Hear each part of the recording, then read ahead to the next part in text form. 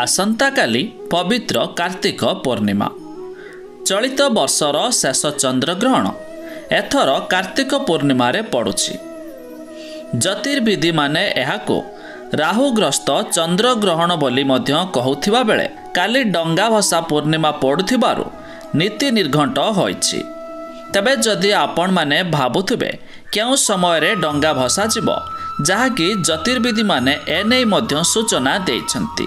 ଆସନ୍ତୁ ଜାଣିବା ତା ପୂର୍ବରୁ ଭିଡ଼ିଓକୁ ଲାଇକ୍ କରନ୍ତୁ ସବସ୍କ୍ରାଇବ୍ କରିନଥିଲେ ଏବେ ସବସ୍କ୍ରାଇବ୍ କରି ପାଖରେ ଥିବା ଘଣ୍ଟି ଚିହ୍ନକୁ ଦବାଇ ଦିଅନ୍ତୁ। ତେବେ ଆସନ୍ତାକାଲି ଡଙ୍ଗା ଭସାଇବା ପାଇଁ ରାତି ଦୁଇଟାରୁ ଭୋର ପାଞ୍ଚଟା ଅଠତିରିଶ ମିନିଟ୍ ପର୍ଯ୍ୟନ୍ତ ସମୟ ଧାର୍ଯ୍ୟ ହୋଇଛି। ଅପରାହ୍ନ ଦୁଇଟା ଅଠତିରିଶ ମିନିଟ୍ରେ ଗ୍ରହଣ ସ୍ପର୍ଶ ହେବ। ସନ୍ଧ୍ୟା ପାଞ୍ଚଟା ଏଗାରରୁ ଚନ୍ଦ୍ରଗ୍ରହଣ ଦୃଶ୍ୟମାନ ହୋଇ ଛଅଟା ଅଠର ମିନିଟ୍ରେ ଗ୍ରହଣ ସର୍ବମୁଖ୍ୟ ହେବ।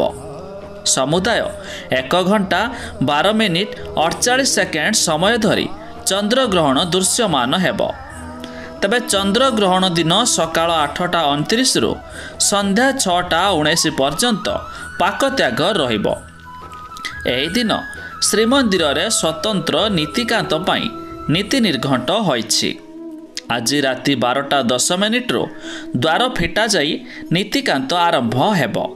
ଏହା ସହ ମହାପ୍ରଭୁଙ୍କର ସୁନାବେଶ ବା ରାଜାଧିରାଜ ବେଶ କରାଯିବ। ଏହି ଚନ୍ଦ୍ରଗ୍ରହଣରେ କେତୋଟି ରାଶି ଉପରେ ଖରାପ ପ୍ରଭାବ ପଡ଼ିପାରେ। ଜ୍ୟୋତିର୍ବିଧିମାନେ କହିଛନ୍ତି ସେ ରାଶିଗୁଡ଼ିକ ହେଲା ମେଷ ବୃଷ କନ୍ୟା ରାଶି।